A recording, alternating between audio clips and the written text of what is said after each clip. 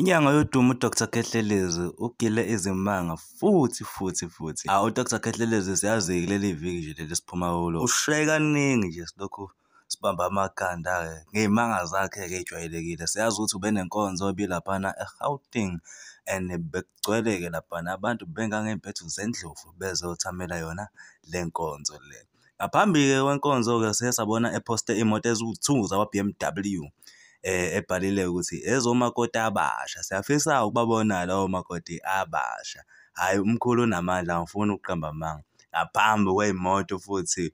Khona-ke ividiyo-ke ayiphostile ngizokudlalela futhi yona leyo vidiyo leyo ecula laphana ecula kuzwakala sengathi ucula ingoma yomculi waphesheya uKanye West ethi good morning ubelaphana-ke endaweni yase-Cape Town ikapa lodumo yena umkhulu. Awuthi singapholisi amaseko awuthi sikudlalele le vidiyo lena uthokozele nangomkhulu eshaya u-good morning by Kanye West. Awuke u-subscribe-ke uphinde u-like danke lapho. Oh, morning. Oh, bantu abasindisiwe good morning.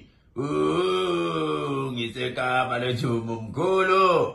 Mkhulu wami, sawubona sita sami, buka ngikubuka kuphi?